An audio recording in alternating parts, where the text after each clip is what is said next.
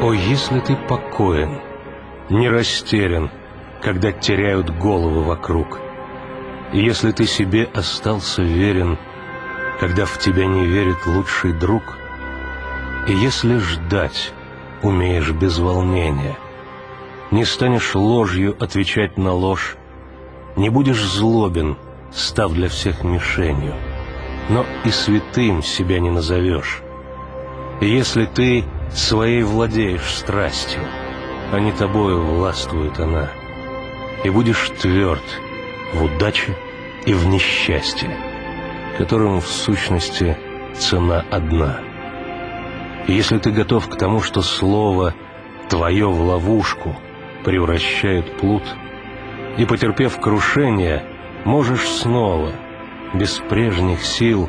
возобновить свой труд, если ты способен все, что стало тебе привычным, выложить на стол, все проиграть и вновь начать сначала, не пожалев того, что приобрел, если можешь сердце, нервы, жилы так завести, чтобы вперед нестись, когда с годами изменяют силы, и только воля говорит «держись». Если можешь быть в толпе собою, при короле с народом связь хранить и, уважая мнение любое,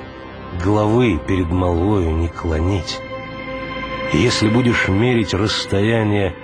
секундами, пускаясь в дальний бег, земля — твое, мой мальчик, достояние, и более того, ты — человек.